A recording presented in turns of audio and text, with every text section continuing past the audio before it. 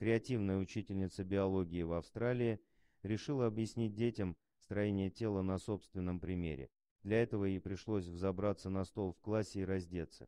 Дебби Хиеркинс, преподаватель биологии в нидерландской школе «Зеленое сердце», Райнвуде в городе Хазерсвауде-Дорп во время занятия, посвященного строению человеческого тела, встала на стол и разделась перед учениками.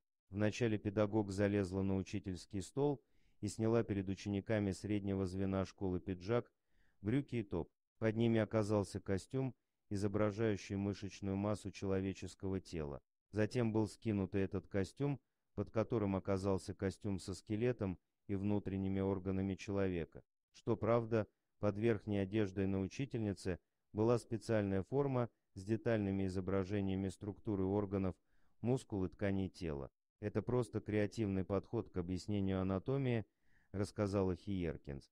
Кроме того, под формой, отображающей расположение органов в теле, на учительнице была также одежда с изображением структуры скелета человека. Дорогие друзья, если вам понравилось видео, поставьте лайк, а также подписывайтесь на канал, где найдете еще много интересного.